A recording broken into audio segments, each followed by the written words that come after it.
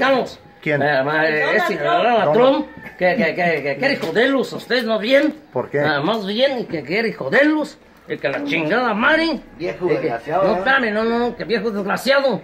No, que, que, que quiere mandar a latinar a los mexicanos, a la jodida, a la chingada. Nos quiere regresar. Eh, ándale. Sí. Los quiere regresar para México. Ajá. Que váyanse a chingar su madre, mexicanos. Vayan, no, pues, pues pura ¿Y tú qué le dices a él? No. Al Donald Trump. No. Y le dije yo a los mexicanos, a todos los mexicanos, pues fueron ustedes super mil pendejos de mil, discúlpenme muchísimo. Ajá. De muchísimos, son mis amigos, pues, me comprendan, pues. Entonces, ¿quién hijos de su chingada les dio, le dieron ustedes el voto? Entonces, ¿por quién votaron ustedes?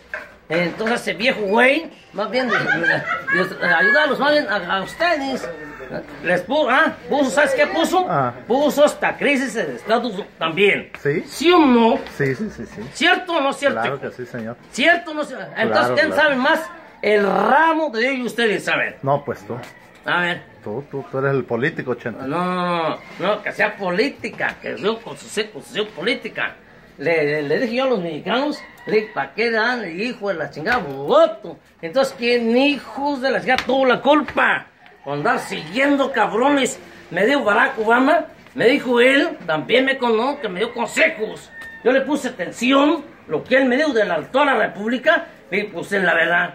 Eh, lo siento, mi gran amigazo. Sí. Mi gran amigazo Barack Obama. ¡Gracias!